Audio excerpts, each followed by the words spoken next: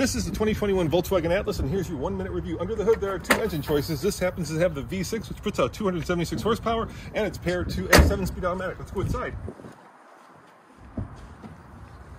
The Atlas starts at about $33,000. It competes with cars like the Kia uh, Telluride and the Honda Passport. In here, it's very dramatic. In other words, it's very basic, very easy to use. Someplace you want to spend a lot of time when cruising down the Autobahn. Let's try the second row. Now I'm 6'2", which means I fit even with this massive sunroof. Let's look at the back.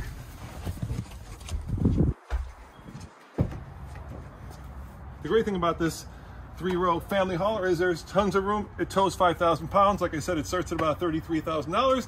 And this has been your one-minute Volkswagen Atlas review.